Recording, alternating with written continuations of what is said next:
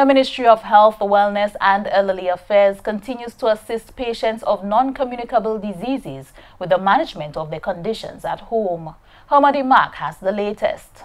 The Ministry of Health, Wellness and Elderly Affairs is drawing focus to the importance of cardiovascular care and mitigating risk factors in people living with non-communicable diseases.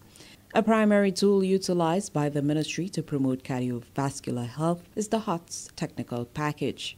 Dr. Shana Sir, explains the functions of the program. The HEARTS Technical Package, a module of the Global HEARTS Initiative, provides a framework for implementing the integrated management of non-communicable diseases through cost-effective interventions. The HEARTS Technical Package, through strong political will, was first implemented in six sites in 2020 and has been expanded to, to include two new sites in 2021. Over the past 20 months, and despite the many challenges posed by the COVID-19 pandemic, tremendous effort has been placed in assessing and improving the implementation and success of HEARTS in St. Lucia. Through the HEARTS technical package, the ministry has introduced the Chronic Care Passport designed to empower individuals living with chronic diseases and enable them to play an active role in their health care. Principal Information Officer with the Dennery Hospital, Yolanda Alcindor, provides insight into the Chronic Care Passport. This booklet is used as an educational tool for the healthcare workers, persons living with chronic conditions, and their families. It helps individuals to self-manage their chronic condition. The passport is very colorful and interactive.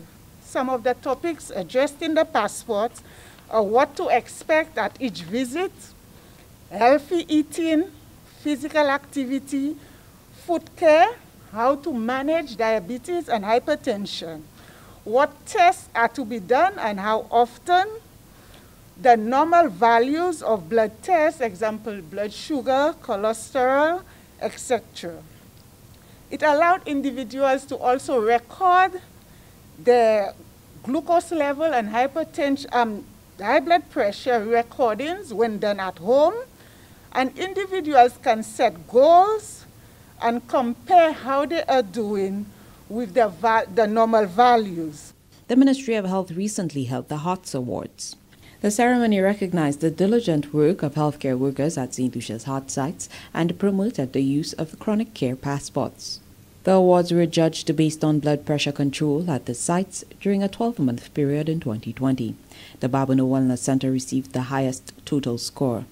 The highest average blood pressure control, first, second, and third places were awarded to Etangs Wellness Center, La Fargue Wellness Center, and Ti Rocher Micoud Wellness Center, respectively. Lacroix Health Center received the Most Improved Award. From the Government Information Service, I'm Hamadi Mark reporting.